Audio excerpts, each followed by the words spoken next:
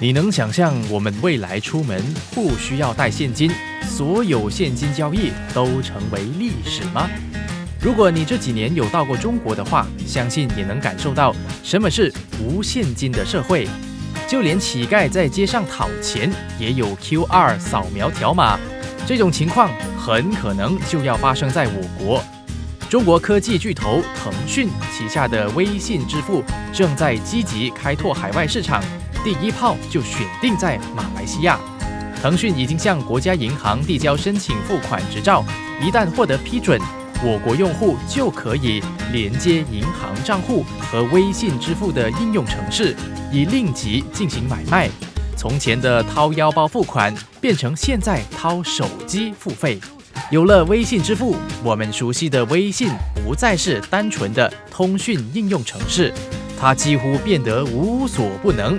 从购物、餐馆订位子、点餐、订酒店房，甚至是用手机打开房门都不成问题。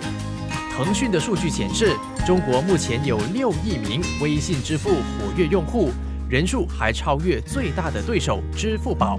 无现金社会就在不远处，我们都准备好了吗？